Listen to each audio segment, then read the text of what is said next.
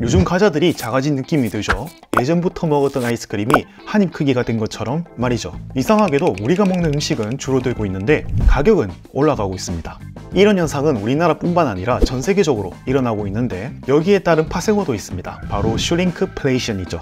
슈링크플레이션은 제품의 가격을 유지하는 대신 양을 줄이는 것을 말합니다. 2015년 영국 경제학자 피파 망그레가 이 단어를 씀으로써 세상에 널리 알려졌죠. 슈링크플레이션은 숨겨진 인플레이션이라고도 불립니다. 제품 가격과 다르게 용량이 줄어드는 것은 느끼기가 어렵기 때문이죠. 대표적인 예로 지소 과자가 있습니다. 포장지는 커지는데 실질적인 용량은 작아지고 있죠. 그래서 몇 년 전에 지소 과자로 땡국 만들기가 큰 화제가 되기도 했습니다. 이뿐만 아니라 식품 중량 감소도 있습니다. 지난 3월 풀무원이 핫도그 5개에서 4개로 줄였는데 이 사실이 언론을 통해 알려진 건 불과 며칠 전이었습니다. 이러한 현상은 어떻게 보면 소비자를 기만하는 행위이기도 합니다. 예를 들어 A 식품이 좋아서 매일 사 먹는데 어느 날 갑자기 여러분이 모르는 사이에 용량이 줄어드는 것과 같죠. 그런데 현행 소비자 보호법상 불법이 아니라고 합니다. 제품 개수 중량 등이 포장에 똑같이 표기되어 있다면 소비자에게 알릴 의무가 없기 때문이죠.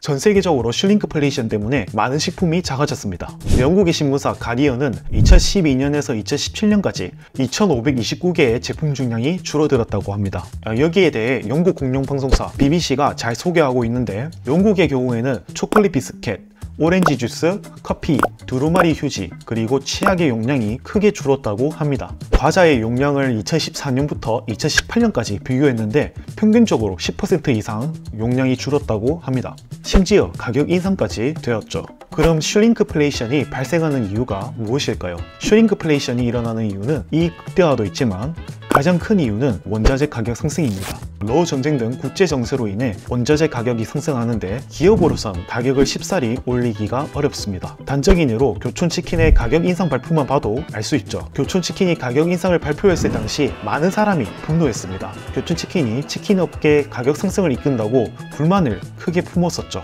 가격은 눈에 띄기 때문에 더욱 대중을 자극하기 쉬웠습니다. 홈플러스의 당당치킨, 롯데마트의 한통치킨 등은 싼 가격으로 유명해지면서 사람들이 줄 서서 먹기도 했죠.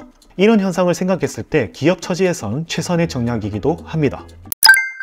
그럼 이런 현상을 전 세계가 손 놓고만 있을까요? 프랑스의 브리노 르메르 재무장관은 제품 용량을 변경할 때 소비자에게 알리는 것을 의무화할 계획이라고 하며 프랑스의 기업 까르푸는 용량이 줄어든 제품을 이미 표시하고 있습니다. 캐나다의 경우 프랑수아 필립 샹파뉴 산업장관이 슈링크플레이션처럼 소비자에게 해를 끼치는 행위를 적발 및 조사하는 식료품 태스크포스를 출범시킬 것이라고 말했죠. 반면 우리나라에서는 최근에서야 슈링크플레이션에 대한 경각심이 생겨나고 있죠. 그런데 아쉽게도 우리 같은 소비자가 여기에 대처할 방법이 거의 없다고 봐도 무방합니다.